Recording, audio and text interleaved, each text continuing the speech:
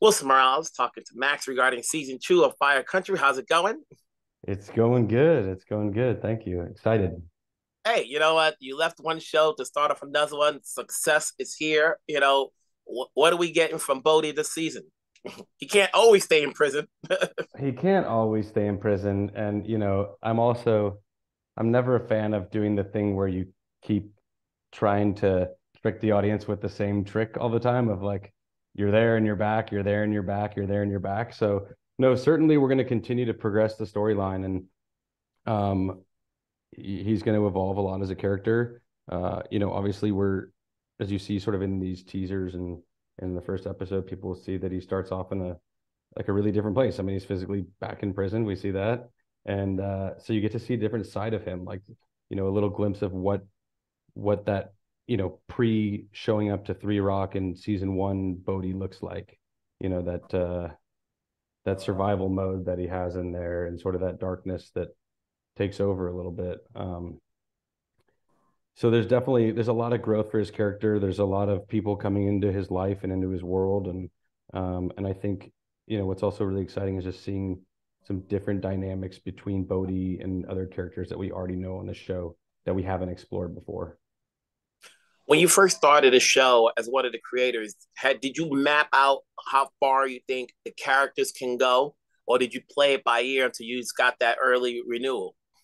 No, I so I had I'd mapped out like two seasons worth originally, um, but you know when you're doing 22 episodes and you have obviously we have a lot of voices in the room and um, you know so there's a lot of really kind of great stuff that comes along and then you know sometimes there's times where stuff comes back around that's in the original iteration and you're like oh yeah okay well, yeah i guess we can use that now instead of you know where i was thinking about using it before.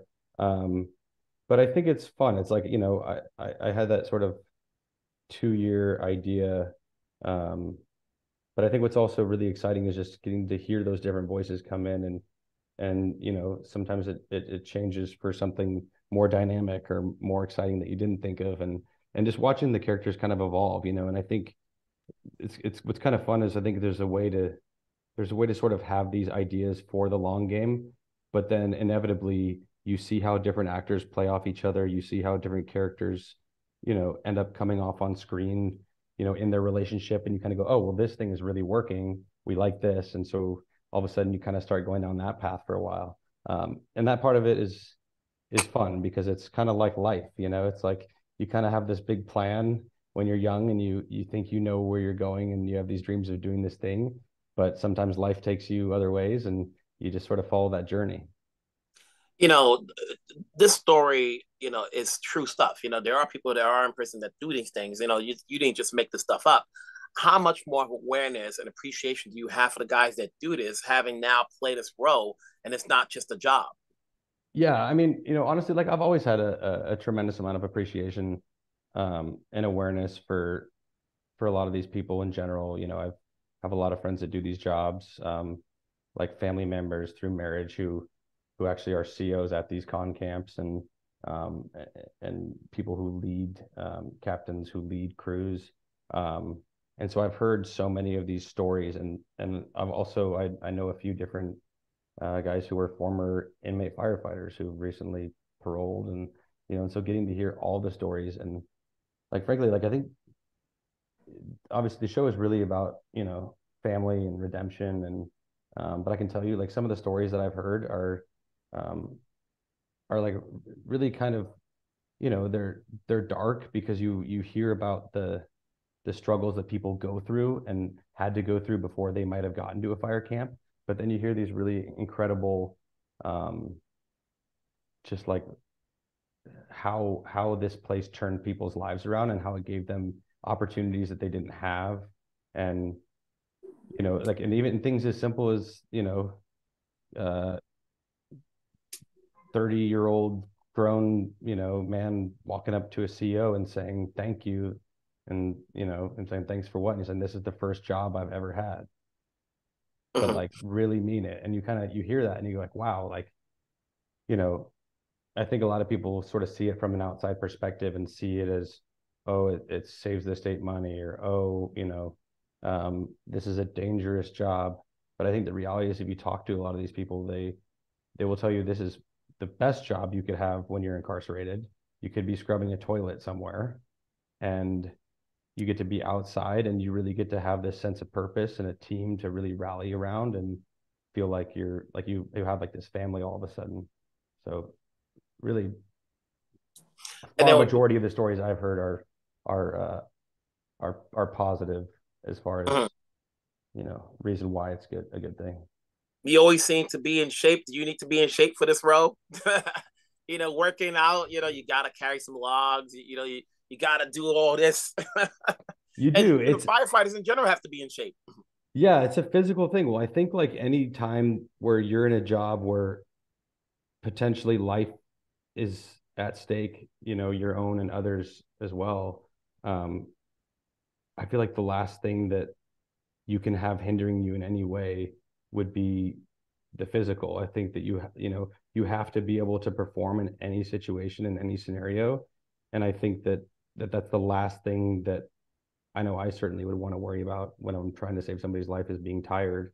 You know, I know that the human body will push through a lot of things in those in those adrenaline filled moments far beyond what people think they're capable of certainly um, but yeah i mean i i think as far as from the acting standpoint it helps me not be tired as an actor max on set and be able just to keep going and keep trucking and um, you know we shoot at a fast pace and so i think that that's it's super beneficial we were not you know shooting a, a, a show like a medical show or something on a stage every day we're out there in the elements and um, yeah, I feel like uh, you know, um, sharp, sharpen the body, sharpen the mind, and you know, always be ready. You know, I've watched your career for a long time. You know, obviously you've been working steadily for a period of time, and now you know you you have multiple roles on this show. Uh, and I always say talent can never stop learning. How much are you still learning, not only as a creator, producer, but as an actor, as you continue to do this? Man, I'm learning all the time, and that's honestly I think that's the reason why I still love doing it so much. I feel like, uh, you know, at any point that I do anything where I feel like it's becoming too routine or, um, you know, it, it, it's hard. It's hard to get excited. And I think now, you know, like acting, I've learned so much and I continue to learn so much from people all the time. Um, you know, I, I was always like an inquisitive kid on set and asking questions about directing and cameras and this and that. And I felt like I took to that rather easily. Like I just understood it. I understood that process and I could see the cuts in my head. Um, but I think the biggest one for me has just been from like a, a, a producing and higher level standpoint, certainly. Like, you know, I'm involved in way more conversations than I ever was. And, uh-huh. you know, realize how much goes into you know, making the sausage at the end of the day. There's like so many ingredients that I didn't even know were in it that now I have to, you know, be a part of and which is good. So that's that's part of the whole bigger process as from a, a high level standpoint that I'm learning and um, I feel like it will only make me better in the long run because I now have a deeper understanding for so many different parts of the industry and how it works you know, the thing I was talking to Jordan about this, I said, you know, now that we're in season two, people can get comfortable and watch the show. Sometimes lately, you know, shows are getting canceled after one season that, you know, you, you hate to put some emotional investment in these shows. But when you hear their season's coming back for season two, now people can play catch up and get invested in these characters uh, because now they said, okay, there's a future going here. At least now I'm not, I don't want to get invested for 12 episodes and then that's it. It's like, what am I going to, it's like the Truman Show. What are we going to do once the show gets canceled? Exactly. You know, we're, we're here now.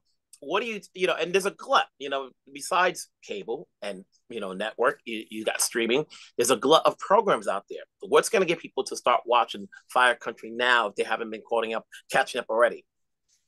Um, I think like we've done a good job. You know, CBS has done a great job of just like promoting the show and and and and generating awareness. And I think that it's a show that you know has also had a decent amount of word of mouth. And I think that's one thing that you've seen, like even with like Suits recently. I'm like all of a sudden everybody. I'm like I'm like this show's been around forever, but you realize how you know people talk about a show and they like it. And I think especially in a show like this that has so many different um, it has so many different pieces. Like it has it has so many different parts to it that appeal to so many different people. It, it, there's a really I think broad audience that likes the show because it touches on a lot of things. Um, and I think at the end of the day, it has a lot of uh, sort of elements at its core that are are really relatable and human and grounded and real. And I think that's something that you know people want to find that person that they can relate to on a show or find that person that they can um, get behind and want to root for. And I think there's a lot we just we do a really good job about balancing that. And so I think when people give it a chance, you know, if they haven't watched it for the first time and they see it and they go like, oh, whoa, this is cool. Like the action is really cool. Or, you know, I love these storylines or I love this drama and the soap, like all these different beats or the family element. Um, I think that that that folks uh, so far that I've spoken with have been, um, if they weren't aware, they've been like really pleasantly surprised. And I've, you know, heard of other people being like, oh, I, I just watched the first episode and then I watched 10 because I was like, oh my gosh, it's like a, it's on network, but it's like really bingey show. We, you have a lot of card turns and things that are happening and we leave off in these cliffhangers. And I'm a sucker for cliffhangers. So it's like, I'm one of those guys that if I watch an episode and I get to the end of one and there's like something that I'm like, well, I got to see what happens in next week now, you know, and it's not completely finished. Um, then it's like, I'll stay up way past whatever time I should be going to bed just to you know, and then you and then uh, the next one comes on, and they do a really good job now too of of uh, like five seconds later, the next one starts. So you might be thinking you're getting up to go to bed, and oh, it's coming on now again, and all of a sudden, before you know it, you've watched like six. Um, so yeah, I think. Uh, yeah. You know, speaking of cliffhangers, he didn't have to go out and seal like that. You know, I was like, he could have just they could have kept the character away. He got hurt. Let him go to some rehab. yeah. Hey, well, you know what? We've we we never actually saw the funeral or the dead body, so who knows? I you know I'm gonna I'm gonna have to subscribe to those conspiracy theories. That's right. You gotta you know the uh he could be really really going super deep undercover now, and it's a, a, a government asset. but either way, you've got this show on right now. You know, that's why I asked, I wanted to talk to you. You know, I've been watching the show. I'm a sucker for these procedural dramas, and it's a good show.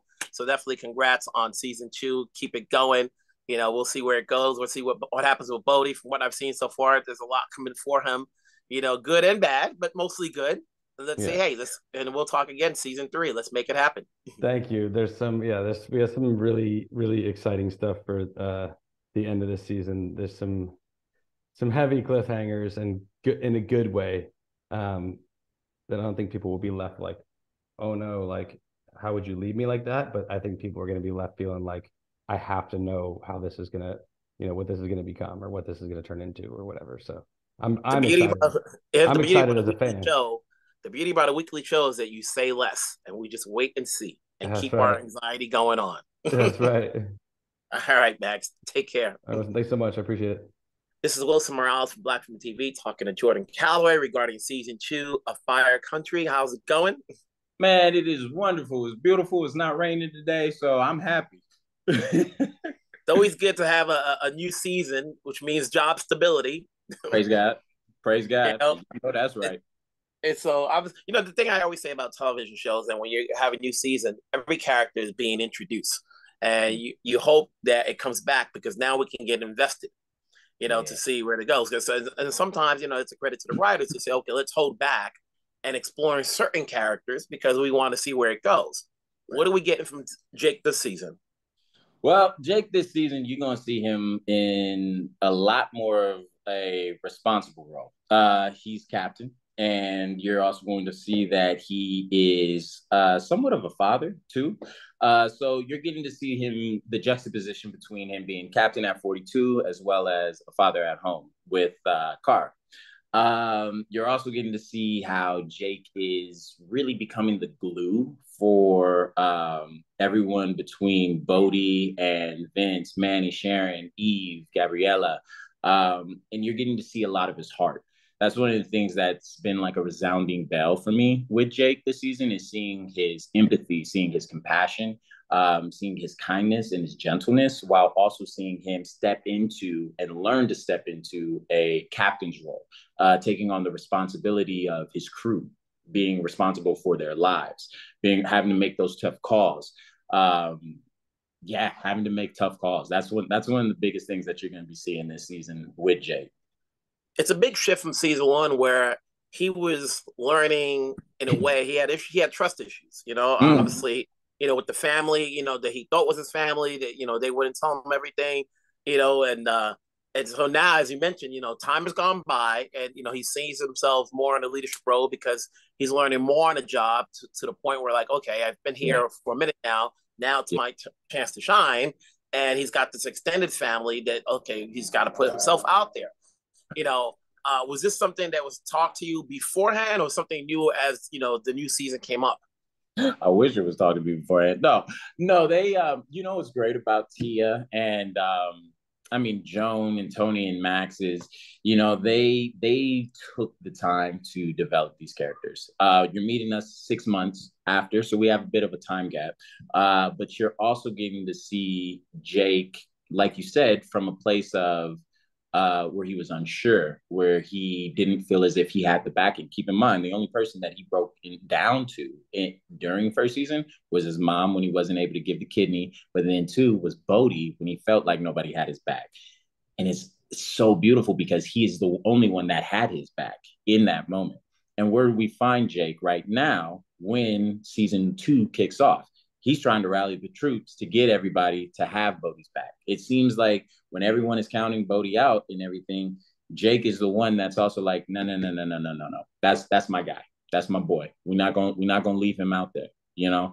Um in in that in in in seeing where Jake was before he was, you know, immature he was much younger he he didn't really have that that mental fortitude that he's developing now because of the hardships that he's finding himself in, um, because of the role and position that he's in right now, which is ha- which has catapulted him to step into this uh, area of being a of being what what it means to be a father, what it means to be a real friend, to be a good boyfriend, um, and and he's learning and taking all of this on while also trying to still maintain some sort of um, glue or or uh, keeping everyone together. You know, trying to keep everyone um, close and and not have the ripples and the schisms that have happened from Bode taking the fall to really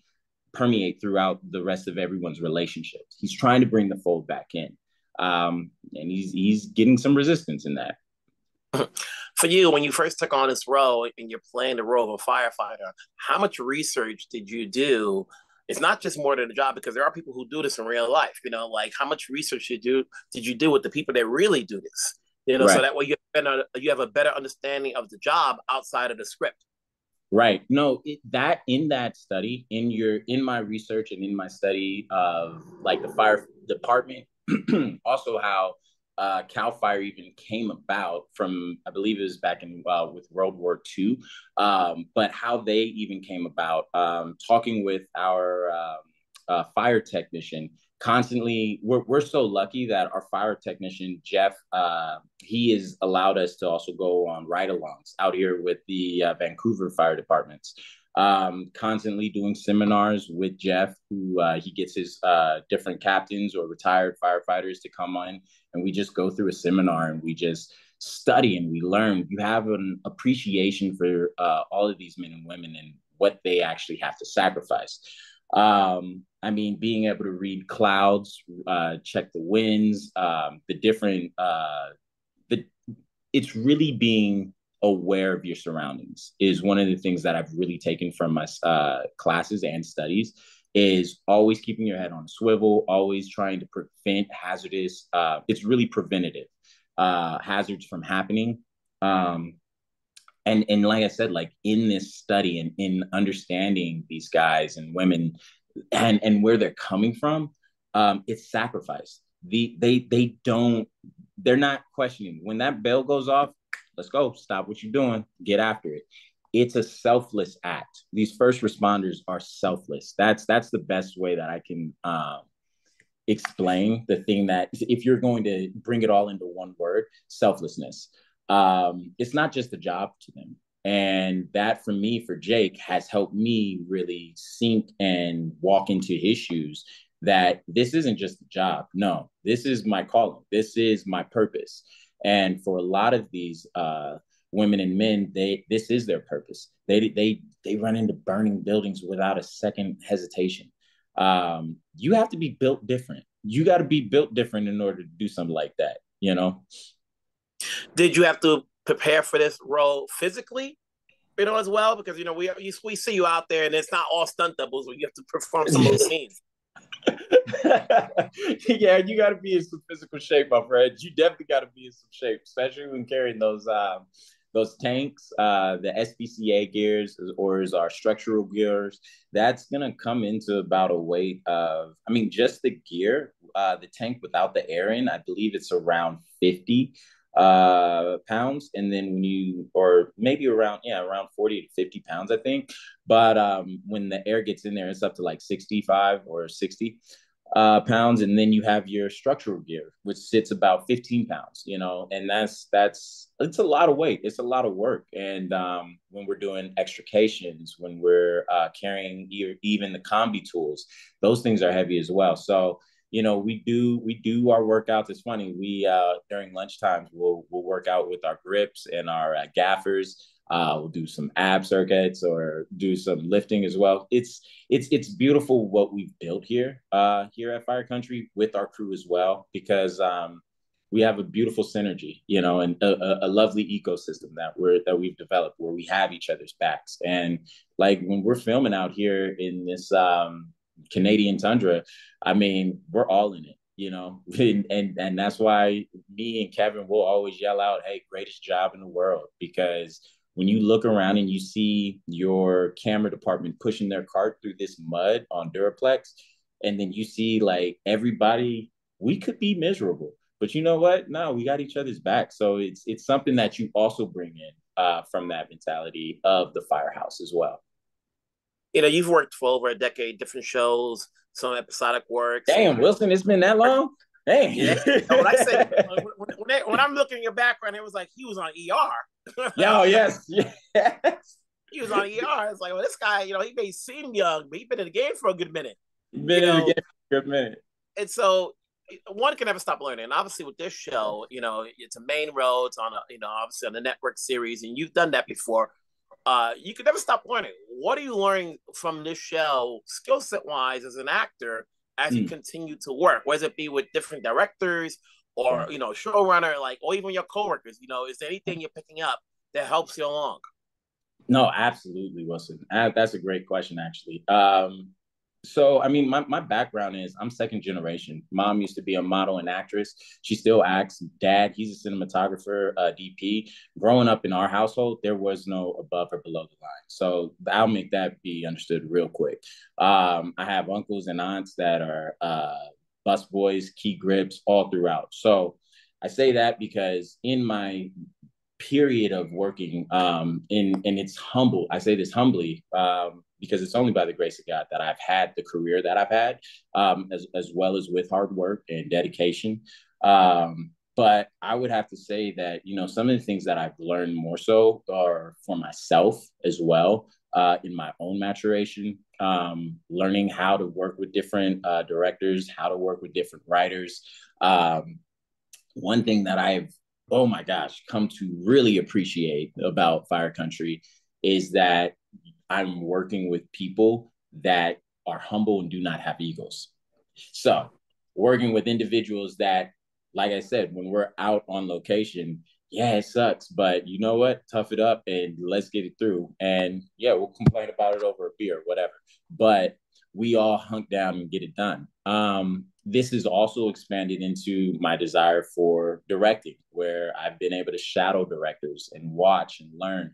You're absolutely right that once you get to a point where you feel like you can't learn anything, that's when your demise will begin. You know, uh, one of my favorite verses, you know, a haughty spirit, uh, pride comes before the fall, a haughty spirit before destruction. So if I ever get to a point where I'm thinking like, oh, I don't need to study or I there's nothing else I can take from that, one, then I should either remove myself, but two, really, I should humble myself. And there's always something to learn. Um, with this, there's new skills before I did uh, Black Lightning, I was learning a lot of martial arts. I was I was doing a lot of gun activities, heavy, heavy uh, night works. With this, I'm learning a different skill set of extrication, m- moving with heavier equipment on, um, what it is to actually like dangers that you would see. I see things differently now just because of this show. Uh, I see hazards more efficiently. Uh, so it's it's funny how even though I take on different roles, I can take on different some of their different abilities, some of their different traits, some of their different things um, that make that character, which I can then apply to myself, like you like you uh, surmised. Mm-hmm. And it, you know, I always say, you know, there's a glut of programs on TV. You know, there's mm-hmm. a lot. You know, now that we have network and streaming, and then obviously there's films, and I think it some for some people they want to wait till a show gets greenlit before they mm-hmm. start getting invested. Because you know, we've seen lately where shows after one season are done. You yeah. know, and you're like, okay, it's like it's like it's like almost like Truman Show. What are we gonna do now? You know, what do we see next? You know, you reach like, that wall. So now that we're to season two, what's going to get an audience to watch, you know, this series? You know, for those who have not picked up, and now that they right. know this is season two, it shows a level of commitment to not right. only the team, the cast, but to the show itself. Like, okay, right. let me let me check this out. You know, yeah. so like, wait, because you know you're on it, and other people on it, and you know, people always being discovered. For those who didn't see you on Black Lightning, now they'll see you here. Right, right, yeah, you're absolutely right. Um, you know, could you, give me your question again? Could you restate? The question it? is, what's going to get people to watch Fire Country now? Got they haven't been caught up to it now already. Well, you know, I mean, if it's not Billy Burke or you know uh, Kevin Alejandro, you know, all the you know handsome ones that really get the women to come to our show, uh, he'll love that. Billy will love that. Um, no, I, I, I definitely is gonna. I'm gonna say that it is the story, obviously. Uh, Tia, Tony, uh, Joan, Max, they are adamant about wanting to tell character driven stories. Um, obviously, if you, I mean, if you look at Aristotelian's method of writing, spectacle is going to be a huge thing. I mean, you mentioned it. Um, we have, we're in a society where everything is going for one season or this shorter episodes. Benefit of this season is that we're only doing 10 episodes. So it's i mean we've packed in a lot. It's it's been long long days which has been great.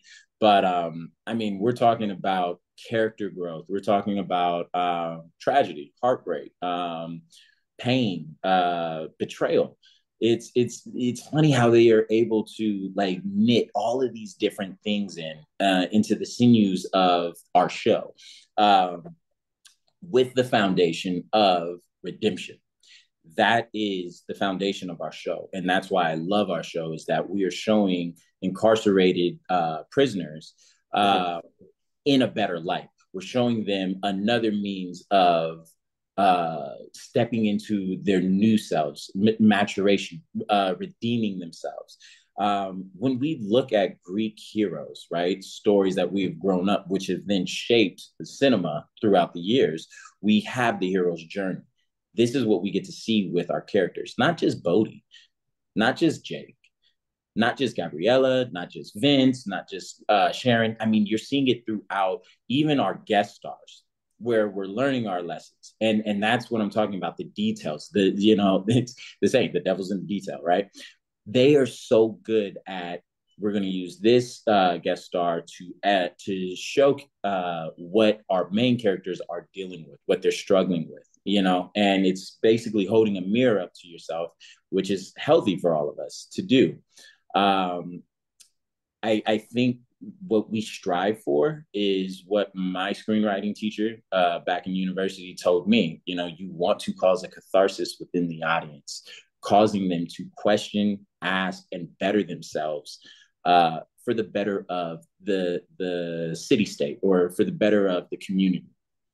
And so I think Fire Country does that with the vehicle of uh, Three Rock, that vehicle of you have uh, incarcerated individuals that are working towards uh, their freedom. In that, they're bettering themselves. And what's beautiful about that is that it's a real thing. This is a real thing that um, I was talking with uh, Jen, Jen, one of our uh, PAs whose friend is works in um, the prison system, and like you have, uh, we're hearing that prisoners watch the show. They they like the show. To be able to be a part of something like that, that's that's what matters. You know, to be able to have to say, I love doing Black Lightning. I loved it. Nothing ever negative about Black Lightning. And then to be able to have this opportunity to step into this role where it's also showing redemption and showing, hey, if you're incarcerated, you still have a chance. Here's an opportunity. I love that. I I can go to sleep every night. I can go, you're right. Like I can say that. That's what I'm a part of. That's what America even said. This was the number one best show because of that. Because we're giving hope. We're reminding people that we have struggles, that we all have shortcomings. It's, I mean, like at the end of the day, that's what Fire Country gives you. It shows you, like, yeah, nobody's perfect. You know, forget all of this cancel culture and all of that. Yeah, nobody's perfect. You fall short, you get back up, and you try to get over it, or you try to do better. And not just on your own, but you have a surrounding community that's healthy to do that for you. Sorry, I get a little bit excited about it. hey, that's that, that's how we can end off on a great note like that. Jordan, it's always a pleasure talking to you. Obviously, you know when you're on a show like CBS, stability is always going to be great because right. you working keeps me working. So take care of yourselves wherever you're at. I'll see. I'll see the episodes and see where along. You know, you're the you're the brother of the show. They ain't killing you off. they. I mean, I, am trying not to, man. We, we, you know, we, me and me and Eve, we, we are Jules. We out there. We holding it down. We holding it down. You know, so we, you know, we get That's the good thing about this show. He, he's not the one BP. right. Exactly. Exactly. And you know, and and that's I appreciate you saying that too because you know that's that's just a testament to um to our writer staff that they're they're aware of that. They're trying to show, you know, um, I love the fact that you, sorry, I don't know if we're going over, but my boy Tye White, he plays Cole. And like, I love the fact that we, even with uh, Tai uh, from last uh, season, season one, uh, Freddie, like we showcase Black incarcerated men, but doing stuff to get better, that they are not just staying there. You will not let that be our narrative. No, you have individuals, and I love that that Max. Like I talk to him all the time. It's like, yeah, I want I want them to be there. Like, and you showcase a black man as a captain of a fire crew. You know, having to earn his way there. You know, I'm just saying, like, I'm I'm a, I. This show gives me joy. It makes me happy to be able to say, like, yeah, my name is associated with that because Joan, Tony, Tia, uh, Christiane Reed, G- JBTV, Max, they are aware and sensitive to that. They showcase uh, the Latin American community, you know. Um, I'm happy to be able to say I'm a part of this show. I really am. Once again, congrats. We'll talk down the road. Have yourself a great day. Same to you, Wilson. Bye.